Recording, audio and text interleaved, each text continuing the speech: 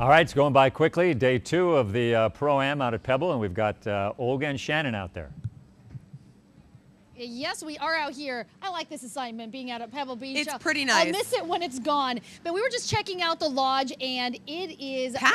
packed. Everybody's here tonight. So busy. So it's going to be going on for a long time, and of course, we're going to be here over the weekend as well. Definitely. Lots of And- golf coverage. And lots of golf coverage. And of course, yesterday was Dustin Johnson in the lead, but today it is actually six guys that are tied for first. So it's going to be a close one come It- this weekend. And you have a kind of a funny story about We- what happened with one of the guys. We do have a funny story. If you know Paul Goydos, you know he's not a big fan of Spyglass Hills. He had to play there today.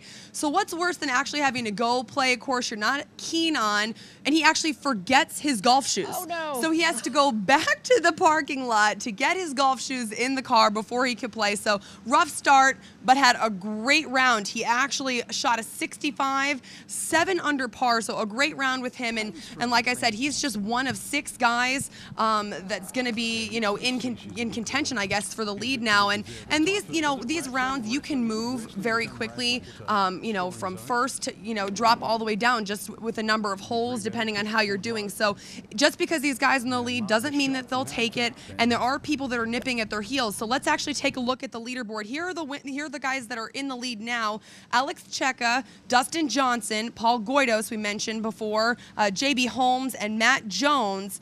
But let's look at the guys that are right there behind him. David Duval had a 68 at Pebble today, and he is one shot behind. Irishman Padraig Harrington is in eighth at eight under, along with DJ Trahan and Alex Prugh. And Phil Mickelson, for the Mickelson fans, he's up there too. He's tied for 11th at seven under with a few other guys. So definitely all of these guys still have a chance to do well the rest of the weekend, and we'll be keeping an eye on that. Of course, all the golf coverage the rest of the weekend right here. Absolutely. You'll be here I'll be here. all weekend, all right? You might come out and check it out. Absolutely. And by the way, we do want to give Norm a thumbs up for the weather. Good job with the weather, job, Norm. Much better this year. All right, well, you'll get that message for sure. Thank you, guys.